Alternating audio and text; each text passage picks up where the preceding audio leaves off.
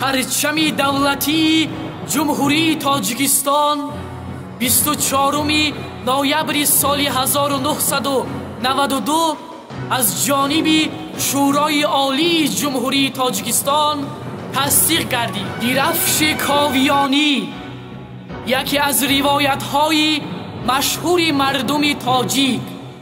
ва тамоми қавмҳои орионнажод аст ки дар шоҳномаи به زوال فردوسی به شکل داستانی نظمی درآورده شده است. پاوه آهنگر که هبده پسر او را زهاک ستمگر گومه مارانش ساخته قصدی پسر هجدهمش داشت شوری پیشبندی چرمین آهنگری خود را پرچم کرد.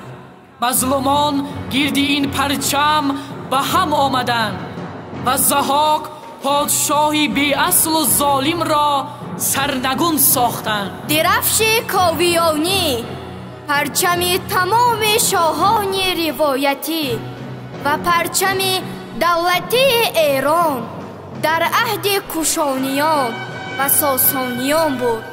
ки он ба дасти арабҳои истилогар нобуд карда шуд